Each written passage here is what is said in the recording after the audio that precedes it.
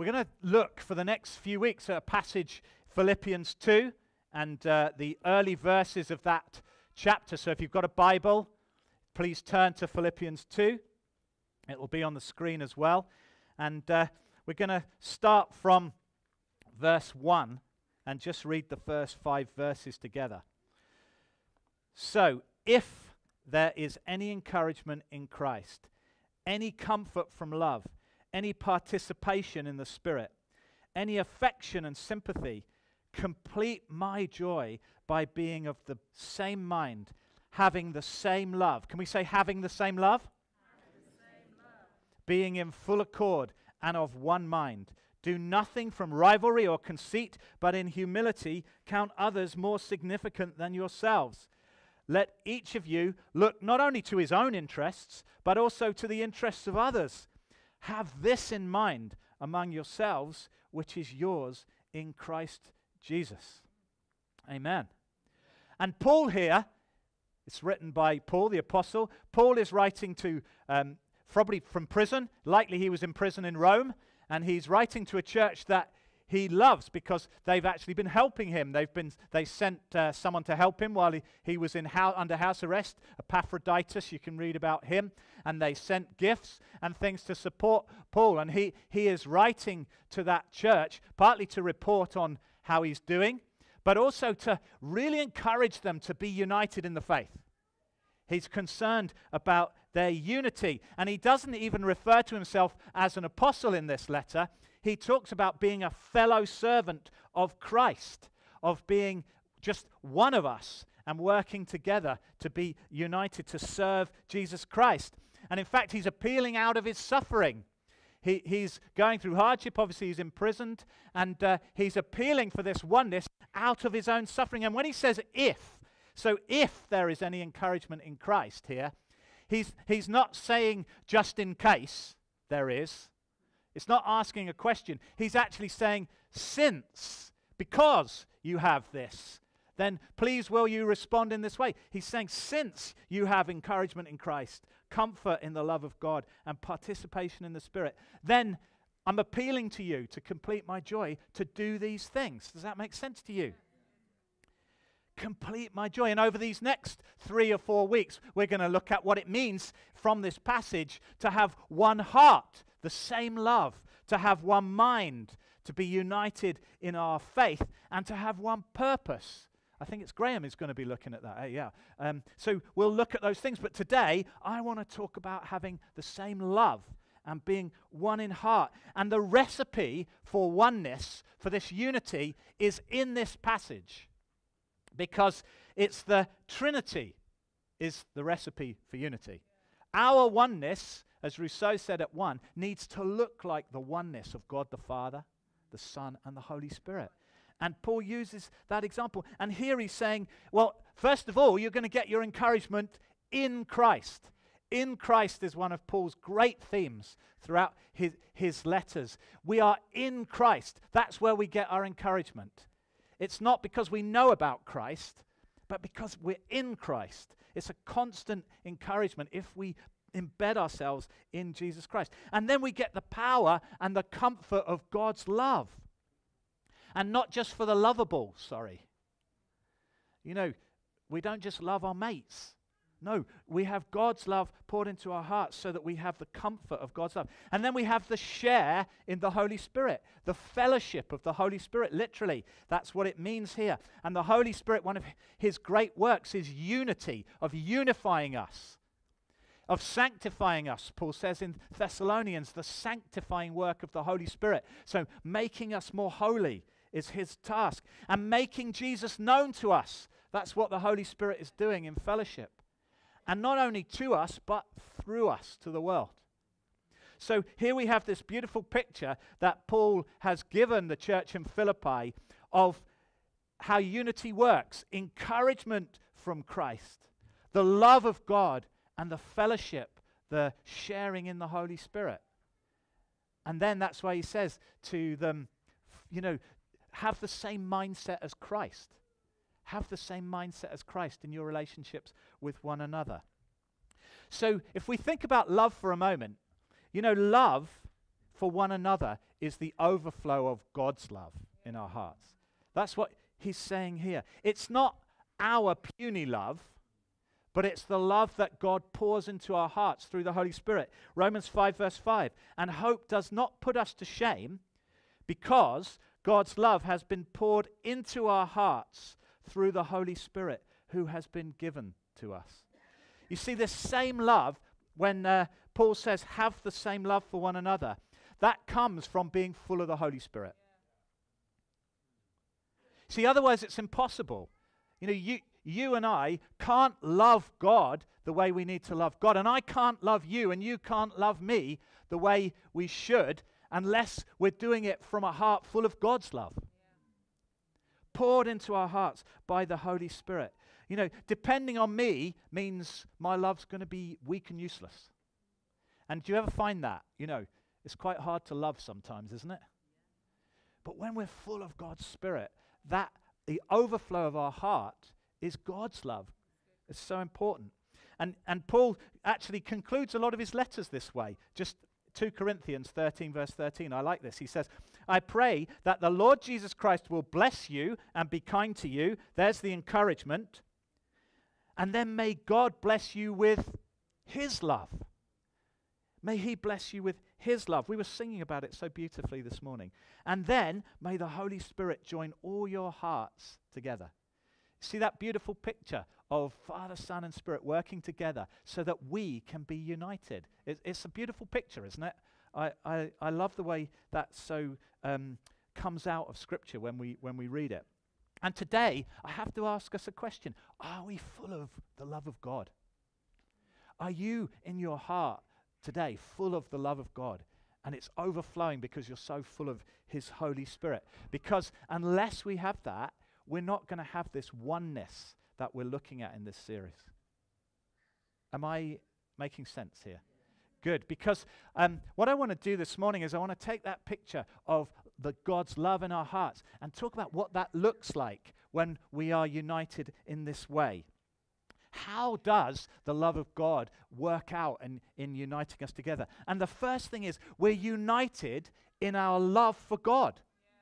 As God pours His love into our hearts, our response is to return it back to Him. That's what we're called to do. That's, Jesus, in fact, said, didn't he, that it's the first priority. Matthew 22, 36 to 38. He's approached, um, they're testing him, they're, they're trying to catch him out, and they say, Teacher, which is the greatest commandment in the law? And these are the guys that are the experts in the law. These are the ones that know the law inside out, backwards, and sideways. And he says to them, and he said to them, You shall love the Lord your God with some of your heart, all of your heart, all of your heart, and with all of your soul, and with all of your mind. This is the great and the first commandment. So, our first priority as a body is to love God. I was listening to um, Keith Green. Who knows about Keith Green? Yeah, all the oldies know about Keith Green, yeah? Keith Green, do you know, um, since Keith Green passed away, it's over 30 years ago now, so um, amazing. But his ministry is still echoing through the church. And uh, I was listening to him talking about a song he wrote, and uh, he told the story of how he'd written a letter to the Lord, and he kept it in his Bible because he didn't know where to mail it to. And basically, in this letter, he'd said, Lord, you've got to do something about my heart. Because I've known you a while, and uh, not through anything that I'm doing, but more through the things I'm not doing. My heart is just growing a little bit cold, and maybe a little bit tired, and a little bit callous. Um, and there's a few, there's a little bit of hardness coming into my heart. And it's not because I don't want to love you anymore. It, it's just because I'm getting weary and uh, I want you to do something about it, Lord. And he wrote this song called, Oh Lord, You Are Beautiful. Do you know it? Oh Lord, you're beautiful. Your face is all I seek. And when your eyes are on this child, your grace abounds to me. You know it? You do now. A slightly poor version of it, but you know it. And then the second verse caught my attention because it says, Oh Lord, please light the fire that once burned bright and clear. Replace the lamp of my first love that burns with holy fear. We were learning this week at the worship leaders forum that Jonathan led. Ewan said something. He said, Sometimes before you sing a song, you need to read the words without the music to see what's in the heart of the song. And you read those words and you catch the heart, don't you? A heart that wants to burn with holy fear. Let's sing it together. Oh Lord, please light the fire that once burned bright and clear. Replace the lamp of my first love that burns with holy fear. Yes, Lord. Oh. Oh, I could stop there. You know, this is so important, church. To be truly united, for us to be one together, we need the lamp of our first love burning bright. You know, the only way I'm going to love you enough and you're going to love me enough is when we come together, that the lamp of our first love for Jesus Christ is aflame and intense in our hearts. It's so important. And you know, it's out of our response to His love that we do this. We love because He first loved us, John wrote in 1 John 4, verse 19. And Romans 5, verse 8 says, But God shows his love for us in that while we were still sinners, while we didn't love him, Christ died for us. Now, if our love gets cold or tired, do you know what happens? We rob one another of the blessing of God and the power of God. If I come on a Sunday morning and my first love is not burning bright, then I'm going to rob you of something that the unity of us um, brings in the power of God. Because it, the Bible teaches us there's a commanded blessing from the Lord when we are together as one. So if we come with a love for Jesus burning in our hearts, we're all going to benefit. I'm going to benefit from you, and you're going to benefit from me. And as we heard this morning, we're going to minister to Jesus in the way that he deserves. You know, and you can't worship that way without passion. I, I, uh, I've got a little news flash that I, I caught to read to you. This is from a very cheeky website called Babylon Bee. I don't know if anyone uh, ever looks at Babylon Bee, but this is this report that it says um, Psalms experts. This is coming from the experts in Psalms. Lift up your hands actually means just stand there with your hands in your pockets. US Academy foremost experts on the Hebrew book of Psalms are now claiming the phrase often translated as lift up your hands is better actually rendered just stand there with your hands in your pockets. Scholarship now suggests that rather than lifting our hands in worship to God, the best way to convey affection, adoration, and reverence is by standing as still as possible while singing praises to Him. The Hebrew term can include some light swaying, of course, but it's not intended to convey ecstatic body motions, said Dr. Michael Pagui, a renowned made up New Testament scholar. Mostly, it just means you're supposed to put your hands in your pockets, cross your arms, or fold your hands in front of you. And then it says, while findings like this often don't make waves, this report is an exception. Chris Tomlin, who's a worship leader, caught wind of the information and quickly released a version of Holy is the Lord with a new first line We stand and fold up our hands, for the joy of the Lord is our strength.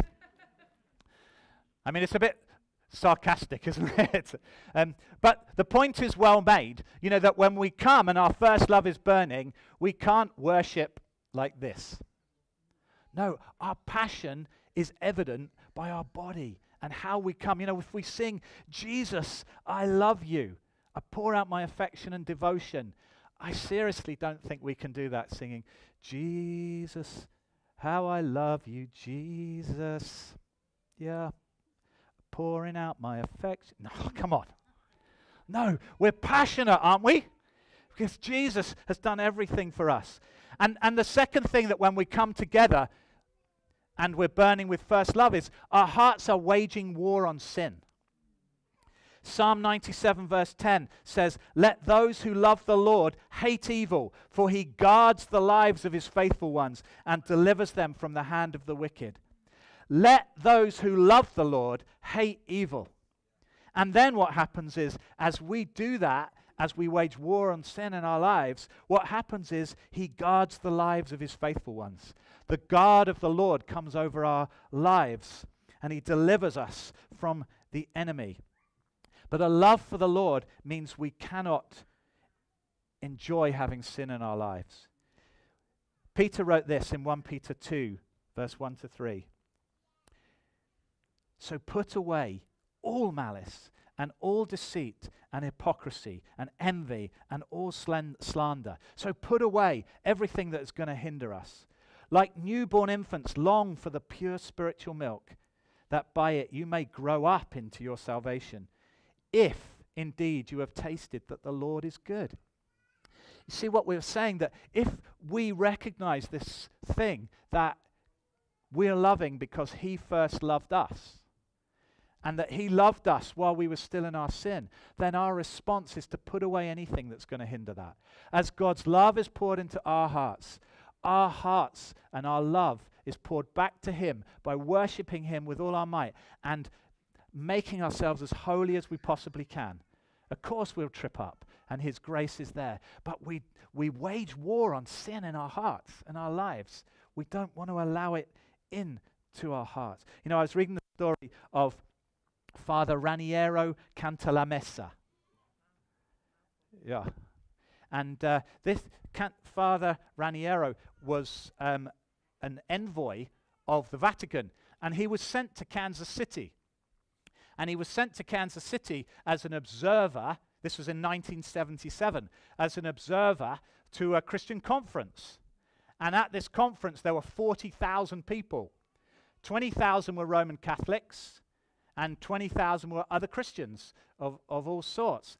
And uh, as he was observing this conference, a moment came where whoever was teaching that day was talking about the damage that division does in the church of not pursuing purity in the church. And uh, in that moment, 40,000 people fell to their knees and began to repent. And, and he said, he, he said that in that moment, he looked up and he saw um, Jesus is Lord on a neon sign. And beneath this neon sign, there were 40,000 people knelt in repentance. And he said, I got a glimpse of Christian unity, of what Christian unity was all about. Not some ecumenical mishmash. It wasn't that suddenly the church all joined up and became one thing. But no, it was 40,000 Christians in repentance under the lordship of Jesus Christ. And then he was so moved by this moment that he turned to someone who was just um, a lay minister from um, another denomination, and he said, Please, will you pray for me to encounter the Holy Spirit? And as this person prayed for him, just an ordinary saint like you or I, um, he found the Holy Spirit just falling on him. And he found himself speaking in tongues. It says, I was speaking in a manner like speaking in tongues. And the word of God just came sparkling alive in his life. And in that moment of everyone under the lordship of Christ, forgetting um, selfish ambition, as Paul was saying, and just focusing on the lordship of Christ, the power of God came. And in fact, his ministry was opened up and he became the, the preacher to the, um, the Vatican. But as I say, the point here was not some um, marrying of ecumenical differences. The point was that under the lordship of Christ, the power of God can fall when we agree that being holy and saying, Holy, holy, holy is the Lord God Almighty. Lord, I want to put aside anything that hinders, any slander, any negativity, then your power can come. And that's what happens when we're one, when we're loving God together. Amen. So I want to ask today have you got baby skin around your heart? Keith Green, when he wrote that letter, what he said was, Lord, I want to have baby skin now, I held a brand new baby this week at the hospital, and baby skin is like so soft and fragile and uh, it, it can easily be damaged and hurt. And what he was saying is, that's the sort of skin I want round my heart, Lord. Fragile skin that is open to your correction, that is loving with the first love of Jesus Christ. Have you got baby skin around your heart this morning? Ha- have you got a baby skin love for Jesus that says, Lord, I want to kneel before you in repentance for the things that hurt you? And I want to, as we said this morning, give you everything. Because as we do that, that's going to unite us, church. That's going to bring the power of God right into this place. Amen. And then the second thing, and the last thing that I want to cover is united in love for the church. Paul in Philippians 2 lists the killers of unity selfish ambition. You know that the great men of God always had a sense of their own unworthiness desire for personal prestige. The purpose should be self obliteration, he's saying, getting self out of the way. And concentration on self, that's an enemy of unity because it means it eliminates others from our heart. If we're so taking up everything in our hearts about ourselves, then there's no space for others. So, what he's saying is create space around your heart for other people by not focusing on yourself. 1 John 4 7 to 8 says this Beloved, let us love one another, for love is from God, and whoever loves has been born of God and knows God. Anyone who does not love does not know God, because God is love. I mean, that is pretty scary stuff, isn't it? If we don't have love in our heart, then John is saying maybe we don't even know God. If we can't love God and we can't love our brothers and sisters, perhaps we need to come and get to know God because God is love. And anyone who does not love does not know God. You know, the Apostle John, he lived in Ephesus into his old age. In fact, he had Jesus' mother Mary living with him for, for a time there. And when he was very old in the church there, the, the disciples used to have to carry him into church. So every Sunday, maybe Sunday, I don't know which day it was, but let's say it's Sunday. But every time the church met, they, they had to actually carry John into the church. And then as they carried him in, they brought him to the front and they said, um, You know Jesus. You, you were with Jesus. Wow. Please share a word with us. Tell us something. And uh, what he said was, Little children, love one another. And, and they said to him, you always say that. Master, why do you always say that? Ev- every time you say the same thing. And it's written that his reply was this It is the Lord's command, and if this alone be done, it is enough. And I think he was remembering what Jesus had taught the disciples. You remember what Jesus said in John 13? A new commandment I give to you, a new commandment I give to you, that you love one another. Just as I have loved you, you also are to love one another. Can you imagine what John must have felt when he thought back about that moment? Jesus said to us, Just as I have loved you, you also are to love one another. And he would have remembered that Jesus loved enough to go to the cross, to die for us. And now he's remembering that Jesus said, Just as I loved you, you have to love one another. That's a powerful picture. And he must have known. That's why he was repeatedly saying to them, Love one another, love one another, because Jesus said, I loved enough to die for you and to come out of the grave and to give you new life and salvation and hope. Now I want you to take that love and love each other that way. Wow. By this, all people will know that you are my disciples if you have love for one another. It's a high standard, but me centered agendas destroy unity in the church. It's just a fact. The, the destruction of unity in the church is never from the outside, it's always from the inside. In fact, attack from the outside tends to bring greater unity in the church. It's division in the inside that will break unity amongst us. So, how do we love for unity? Well, first, we, we prioritize when we're together you know, we, we don't neglect meeting together. Coming together on a Sunday in life group is our priority. D.L. Moody said this he said, Church attendance is as vital to a disciple as a transfusion of rich, healthy blood to a sick man. And, and can I tell you that um, Carol will confirm this? That on a Sunday after the service, what's the first thing I do, Carol? Yeah. It, it's worry about who wasn't there. As I'm even getting into the car, I'm, I'm saying, oh, I wonder where they were. I must find out if they're okay or ask their life group leader if, if they're okay. And your life group leaders are like that as well, you know. That our hearts are so for sharing together the love of God and the power of living in community and the encouragement of that V formation of the geese, that our desire is to prioritize coming together. It's so Im- important for us. You know, Jesus continu- actually said this. He said, if, if you love your parents or your children more than you love me, you're not worthy of me. And yet, sometimes we just miss church gatherings so easily, you know, because something else is happening. Um, we don't prioritize it, do we? I mean, sometimes we prioritize family, we prioritize work, we prioritize activities, we prioritize just going off doing something. You know, and it's not, hear me right, it's not wrong sometimes to have to do something else. But our heart has to be that if there's one priority, it's to be with the people of God.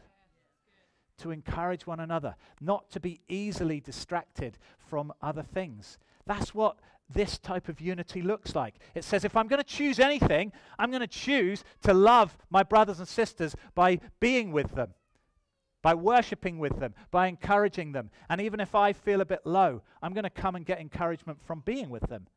You know, there, as Joel's word said, there are those that sometimes need to be at the back of the flock because they're tired and they just need to be pulled along by the others. And there are others who are strong now and, and encouraging, say, come on, keep going, keep going. We are together, but we prioritize meeting together. And you know that socializing together is also part of this. Yeah. There, there's a phrase, I don't know whoever made it up, let's say it was Eric, um, that love hangs out. Love hangs out. I, I love our ladies on a Monday. Is Regina here somewhere? She's the crochet group. Who goes to the, yeah. the, they, these ladies on a Monday, they just meet together and they crochet and they put the worlds to right. But that's what love looks like. You know, just hanging out together and loving one another on a Friday lunchtime. Some of us guys get together and we eat together and um, encourage one another and take the mickey out of each other, in love, of course. And, and love hangs out. You know, just being willing to be one another is part of being united in love. It's part of being one heart. It's just saying, you know, actually, I've got enough, love that I want to be with these guys. Yeah. I want to go out for a meal with them. I want to ask some, someone to come over for tea or whatever it is. You know, it's still being church. Yeah. One heart, one love. And care for the person, not the function. This, this week's been, I think the Lord tests you when you're preaching.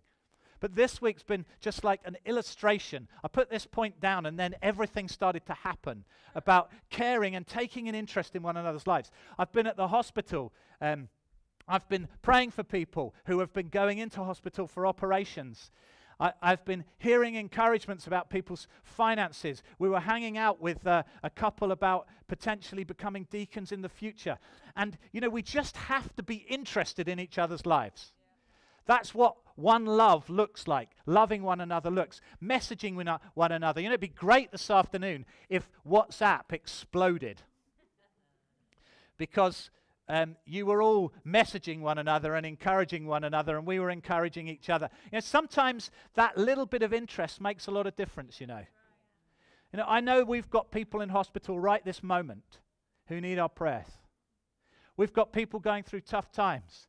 But there's enough love in this church that we can be one if we pursue this with a passion and a desire, and we make it an, an intention to love one another and take an interest in each other's lives, not just because, oh, you're serving on children's work this week. No, because I love you. I love you. And with the best will in the world, none of us, not even Super Pastor, who is not the pastor here, unfortunately, can keep a check on 200 people. We need to share this task as one family loving one another as Christ told us about. And, and sometimes in it, you know, church, we're going to have to be vulnerable. We're actually going to have to open up and be vulnerable about our weaknesses and our difficulties and our sin. And we're going to have to say, please, will you love me enough to pray with me? Billy Graham said something once. He said, Tears shed for self are tears of weakness, but tears shed for others are a sign of strength. You know, and it's not wrong to cry about your own situation. That's not his point. But his point was if we are so invested in one another that we can shed tears over one another, our unity, our oneness is at a strong level. Do we love each other enough to weep over each other? And let's honor each other, church. You know, how do you talk about each other behind our backs? You know, are, are, we critical because unity comes from honoring each other, whether I'm looking at you now or, or not looking at you? And this is one finger that way and three fingers this way. We have to honor one another and love one another if we are going to achieve this level of unity. Is this helping us? You see, if we love selflessly, perhaps uh, Paul, you could pray for me, that would be great um, if we love selflessly in this way, Christ and our brothers and sisters, then blessing is going to come upon us. That's God's promise. You know, we had um, some thefts in the church um, a, a, while ago. Just um, something was stolen. And, you know, we were outraged that that could happen. And rightly so, you know, outraged that in the house of God, um, this was way back. Um, and of course, you're outraged, aren't you, when I share that with you? But the point is, you know, sometimes we can rob each other of blessing by coming with the wrong attitude. And yet we're not outraged. In, in our hearts, we're willing to come and worship half heartedly or, you know, not love in the way that we're commanded to love. And the reality of that is we are stealing a blessing from one another. But if we catch the heart of this, and God, it's not us trying harder, you know, it's God's love poured into our hearts that we can pour it out, we are going to be blessed. The power of God's unity is going to come upon us. Just like Father Raniero, we're going to see the power of God.